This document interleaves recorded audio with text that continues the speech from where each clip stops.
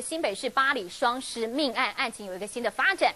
整体案件呢，主要因为死者张翠萍的血液当中被验出了含有和谢依涵供词中所下的药不同成分的安眠药，因此死者家属认为应该还有共犯，所以现在请求法官调阅相关嫌疑人等五个人的就诊记录，要来厘清案情。巴黎双尸案星期二再度开庭，因为死者张翠萍血液中被验出含有另一种成分的安眠药，与谢依涵供词中所下的安眠药是不同的种类。被害人家属认为还有共犯，要求法官重新调查。嗯，我们的关系人也配合调查，但是那一阵子他有重感冒，所以他有去他们家附近的诊所就医。那那个药物的成分是今天家属所提出来的那个药，还要再确认。